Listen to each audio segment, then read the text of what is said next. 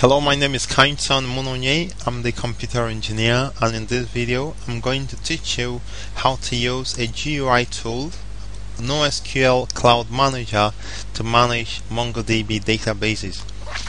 You know, uh, for databases, everybody wants a GUI.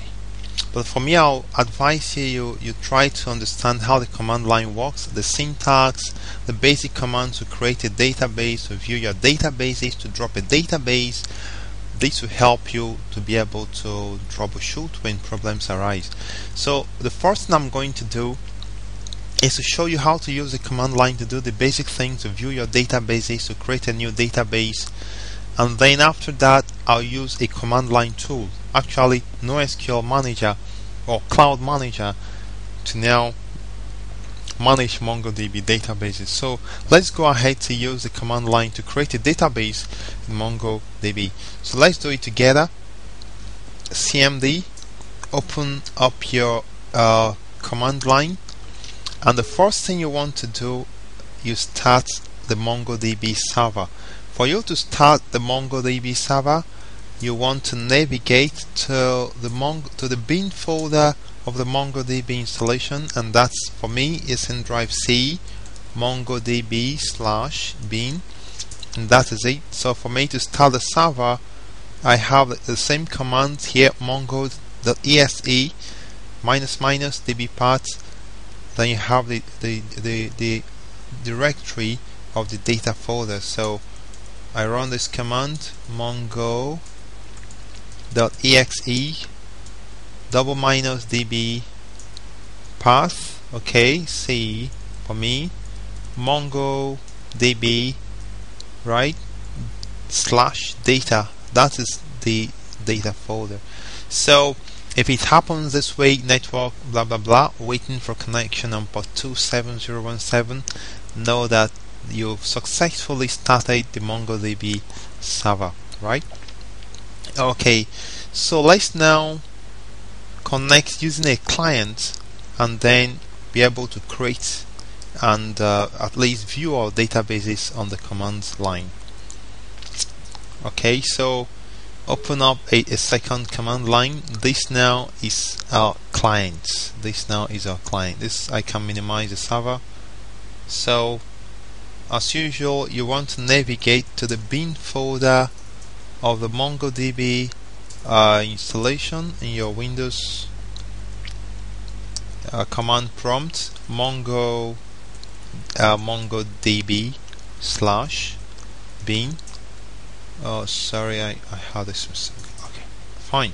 So the, the, the, the to start a section or to connect to MongoDB server I use a command it's very simple mongo.exe and I have connection to the server. So it's telling me MongoDB shell version blah blah blah connecting to text. So now the first command you want to learn is view your databases. You want to see your databases. So to see the databases in the server, just say show show uh, DBS. Uh, it's as simple as that, and it lists all the databases there. I have the first one, a Daco DB. That's my elder sister or big sister, then me, Kindson, Oleander Saffron, local. So I have five databases in this MongoDB server installed on my system. Now, if you want to create a new database, at least you try to learn how to create a new database in the command prompt. You simply say use. If you if you use the use command, let's say I use an existing database. Okay is fine. Show collections as against show tables so have two collections. But that is not what we are talking about. We are trying to create a new database. So to do that just say use and specify a database the name of the database you want to create so you specify a database that is not existing so let's say I want to create uh, a database called old nail. Okay, this, this name. What's the name? Okay, Othniel. That's the name of the database. Okay, Othniel DB. Okay, so that's fine. So when I say show DBS wow. Othniel is not showing up there. So what happened? Because when we created it it created this a switch. The problem is a database is not going to show up in the list databases if there is nothing inside. If there is no document no collection inside it's not going to show up. So what we are going to do now is we go ahead to create a document inside inside the Othniel DB so as usual you use the database is not case sensitive so don't worry about the the cases. So to create a document in Othniel I'll just say DB dot uh, insert sorry. Uh, the, I specify the name of the document db dot uh, training. Let's call it training dot insert. Uh, then one single item let's say uh, name. Let's leave it at name. And the name is a son that is my name Munonye. Okay and that is just fine. And then we close with the curly braces and then we close with the, the bracket. So we have it right result inserted successfully. So now if I run the command show dbs I'm sure I'm gonna see Othniel DB in the list of databases. So this is how to create databases in the command line. So but nobody would like to be typing the scripts in the command line show database, create collection, insert. So having said this, let's go out there to look for a tool, a graphical user interface tool that we can use to manage our Mongo, our MongoDB. So we have a tool in the MongoDB website called Cloud Manager or NoSQL Cloud Manager. So if I go to uh, Google to, to uh, MongoDB database www.mongodb.org so I'm going to see two items MongoDB we have it MongoDB Cloud Manager is not free but you can get 30 days free trial. And that is what I'm going to use for this uh, demo.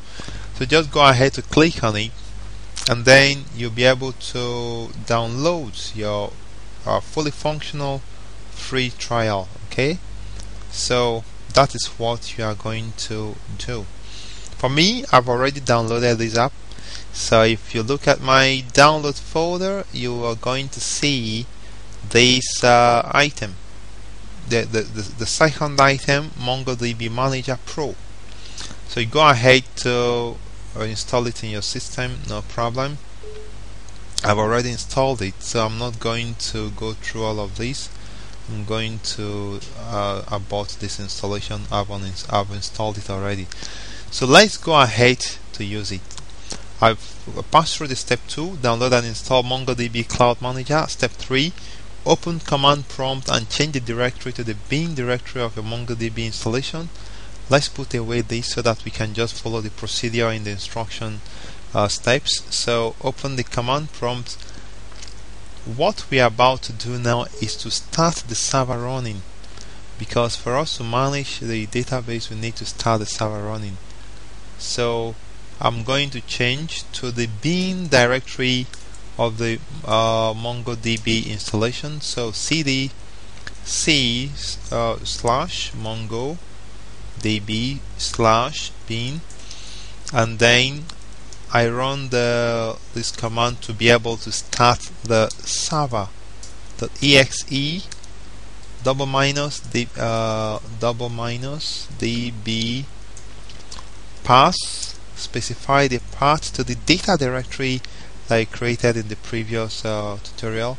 So the same mongodb slash uh, data. Make no mistake here because it's not going to work. There are errors. So this is what you get. This is what you get.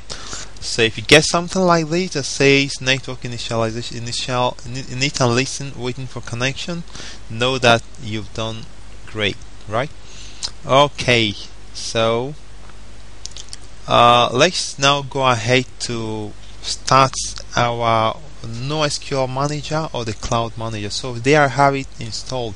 This is RoboMongo after we, we talk about a different tool. But for now, we open up NoSQL Manager, right? Okay, if you open up NoSQL Manager, this is what you'll see. What you'll see is this. This I'm going to remove this connection. Yes, so what you are going to do first is to create a connection to your server, right? so what you do is to start new MongoDB connection this opens up and for now you want to leave everything default options so just go ahead and say OK and it successfully connect so you have one connection right here. MongoDB works with port 27017 by default so maybe you would not like to change it. So if you drop down you have uh, database is showing up as you can see. So remember this we created in this tutorial we created this database. So can view our databases that we've uh, created so this is a pretty uh, sleek tool that uh, I actually personally enjoy using this tool to manage MongoDB.